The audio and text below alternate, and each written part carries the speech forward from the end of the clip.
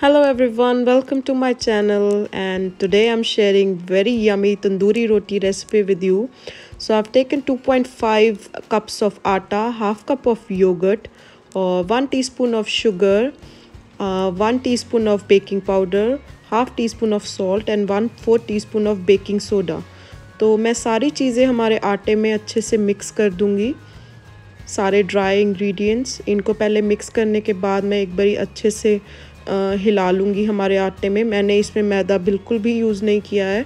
ये हमारा plane regular आटा है। और नेक्स्ट अब इसमें मैं दही डाल दूँगी।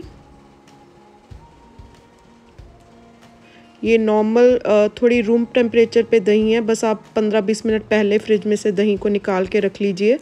ये होममेड योगर्ट है। नहीं तो आप ग्रीक योगर्ट भी यूज़ कर सकते हो। और इसको हम पहले नीट कर लेंगे थोड़ा सा आटे में दही को। फिर धीरे धीरे पानी के साथ हम इस आटे को गूंद लेंगे। हमने इसका सॉफ्ट डो बना के रेडी करना है। हार्ड डो नहीं चाहिए बिल्कुल भी इसके लिए। तो मैं यहाँ पे कोई भी स्टेप मिस नहीं कर रही हूँ। तो यहाँ पे मुझे quarter three fourth cup of water की नीड लगी थी और थ्री फोर्थ कप वाटर से मेरा ये आटा अच्छे से गूंद गया था। तो यहाँ पे देखिए ये आटा अच्छे से असेंबल हो गया है। और इसको बस मैं एक बारी अच्छे से गूंदने के बाद थोड़ा सा इस पर कह लीजिए वन टीस्पून ऑयल स्प्रेड कर दूँगी और इसको अच्छे से एक बारी और थोड़ा सा गूंद लूँगी। और फिर इसको मैं अच्छे से यहाँ पे गूंदने के बाद इसको मैं एक बाउल में निकाल के रख दूँगी और इसको मिनिमम टू आवर्स मैक्सिमम आप फोर टू फाइव आवर्स की रेस्ट दे सकते हो। तो देखिए मैंने ये सॉफ्ट आटा लगाया है। और बस अब इसको ढक के मैंने रेस्ट के लिए रख दिया था फ्रिज में। और यहाँ पे अब मैं आपको तंदूरी रोटी बेल के दिखाऊँगी। तो आटा बिल्कुल सॉफ्ट है जैसे मैं चाहती थी। तो हमने इसकी बहुत पतली रोटी नहीं बेलनी है, जैसे हम नॉर्मल फुल्का बेलते हैं और ना ही परौंठी जितना इसको थिक करना है। तो बस मीडियम थिकनेस वाला हमने ये हमारी एक तरह से इसकी रोटी बेल लेनी है। और बस बेलने के बाद हम इसको अच्छे से एक थोड़ा सा पानी लेंगे और पानी को अच्छे से इसके ऊपर लगा देंगे। बहुत ज़्यादा पानी भी नहीं लगाना है और बहुत कम पानी भी नहीं लगाना है।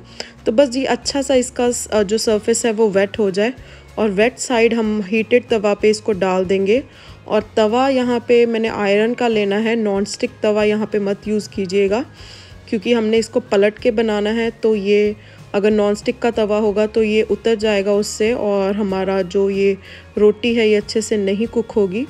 तो बस इसको मीडियम टू हाई हीट पे हमने वन मिनट के लिए पहले ऐसे कुक कर लेना है और फिर इसको पलट के आ, इस पर पूरा ध्यान रखना है और मीडियम टू हाई फ्लेम पे ही इसको दूसरी तरफ़ से भी फ्लेम लगाते हुए कुक कर लेना है। इसमें थोड़ा सा टाइम लगता है पर इम्पेशन मत होइएगा। रिज़ल्ट्स बहुत ही यमी आते हैं। देखिए कितनी सुंदर गोल्डन ब्राउन क्रस्ट आई है इस पर और बिल्कुल भी ये उतरा नहीं क्योंकि हमने पानी अच्छे से लगाया था सरफेस पे और देखिए क्या प्रॉपर जो रेस्टोरेंट स्टाइल तंदूरी रोटी होती है, वैसी रोटी बन के रेडी हुई है। और बस इसके ऊपर मैं थोड़ा सा घी लगा दूँगी क्योंकि घी से बहुत अच्छा फ्लेवर आता है इसका।